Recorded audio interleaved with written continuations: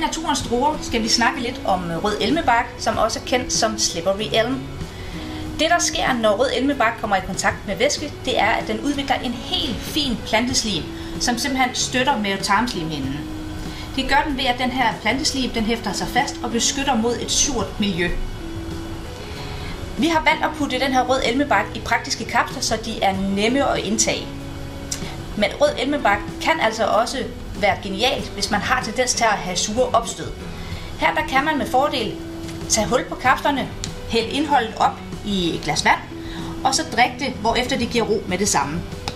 Det kræver 1-3 kapsler. Man kan gøre det flere gange om dagen, hvis man har behov for det. Men ellers så er det altså genialt at gøre lige før sengetid, da når vi ligger ned, der kan syren simpelthen øh, løbe op i spiserøret. Så rører man det ud, så godt som man nu kan. Og så drikker man det, hvorefter det giver ro med det samme.